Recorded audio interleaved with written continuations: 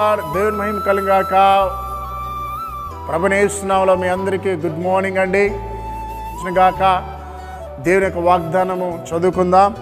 కీర్తనలో అరవై ఐదు పదకొండవ వచ్చినము సంవత్సరము నీ దయాకిరీటము ధరింప చేయుచున్నావు.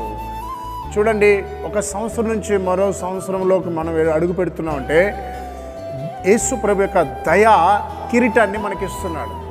ఒక రాజు ఆయనకి ఏది అందం అంటే కిరీటమే. రాజు అంటే ఆ కిరీటం ఉంటేనే. అలాగనే మనం కూడా మరో సంవత్సరాలు అడుగు పెట్టాలంటే దయా కిరీటము దీర్ఘాయుష్ అనే కిరీటము మనకు అవసరము. ఇది మన జ్ఞానముతో రాదండి మన బలముతో రాదండి మన దాన ధర్మ కార్యాల ద్వారా రాదండి.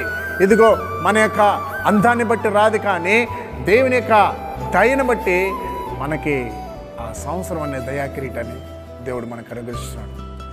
నాకు తెలిసిన యవనస్తుడు ఉండేవాడు. అతను ఒక తల్లిదండ్రులకు ఒక్కదానికి ఒక కొడుకండి. రెండు వేల ఇరవై రెండులో అతడు ఒక బస్సు యాక్సిడెంట్లో చనిపోయాడు. ఇరవై మూడులో అతను లేదు. ఇలాగ నాకు తెలిసిన వాళ్ళు చాలామంది కనుమరుగైపోయారు. ఆ చనిపోయిన అబ్బాయి నాకంటే ఎన్నో సంవత్సరాలు చిన్నవాడు.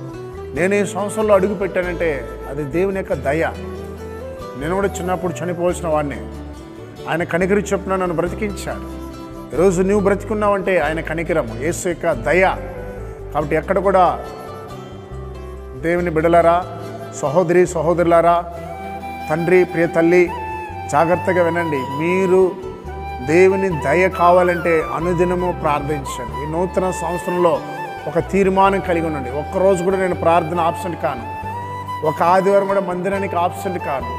ఒక వారం కూడా ఉపవాస ప్రార్థన విడిచిపెట్టను అని తీర్మానం చేసుకోండి.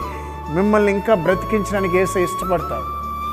మనం బ్రతికించిన దేవునికి కృతజ్ఞత కలిగిన బ్రతుకుగా బ్రతకాలి. దిద్దుబాటు కలిగిన జీవితం అంటారు దీన్ని. కనుక ఉదయకాలన నూతన సంస్థలు అడుగుపెట్టిన మిమ్మల్ని మీ కుటుంబాన్ని ఏసయ్య ఆశీర్వదించిన గాక. ఆమె ప్రార్థించేద్దాం మహాపరిశుద్ధమైన తండ్రి ఈరోజు మాతో మాట్లాడినందుకు స్తోత్రాలయా మీ వాగ్దానం ద్వారా అందరితో మాట్లాడినారు. నూతన సంస్థలో ప్రవేశించిన ప్రతి కుటుంబాన్ని ప్రతి బిడల్ని మీరు ఆశీర్వదించండి. ఎవరెవరికి ఏ వాగ్దానం ఇచ్చారో ఆ వాగ్దానాన్ని జరిగించేసాయా.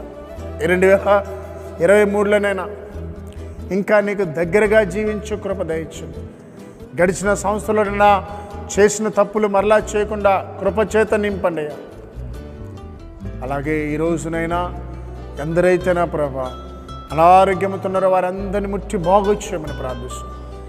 ఈ సంవత్సరం నా ప్రభ ఎవరైతే తీ- అయా ప్రభ నూతనంగా నన్ను రక్షించబడారో వారిని పరిశుద్ధాత్మత నింపి నడిపించాను రోజు పుట్టినరోజు జరుపుకునే బిడ్డల్ని వివాహం జరుపుకునే బిడ్డలు దీవించమని ఏ సునామలో ప్రార్థిస్తున్నాం తండ్రి. ఆమెన్.